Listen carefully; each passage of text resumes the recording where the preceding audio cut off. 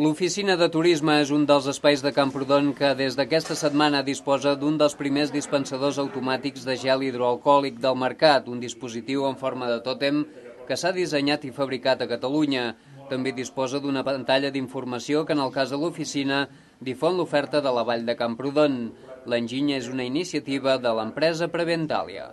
que sobretot el que ens permet és tant integrar-li una pantalla per donar informació i continguts bé d'higiene i de prevenció o continguts d'informació turística, per exemple, i després el dispensador és un dispensador sense contacte, que creiem que això és un punt important, sobretot per mantindre més la higiene, on només has de posar la mà sota del dispensador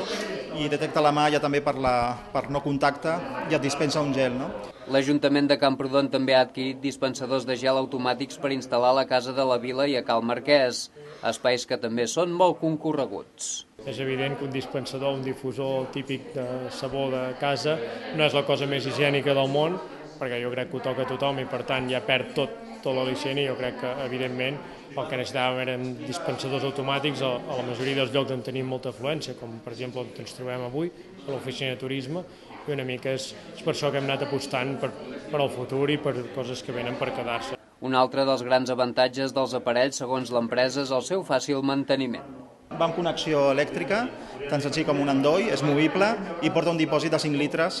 per minimitzar el manteniment i la reposició de líquid del, de l'hidrogel, sobretot per eh, llocs o espais on hi ha molta rotació molt, o molt de tràfic. El consistori Camprodoní no descarta comprar més aparells d'aquest tipus per garantir la seguretat higiènica de tothom.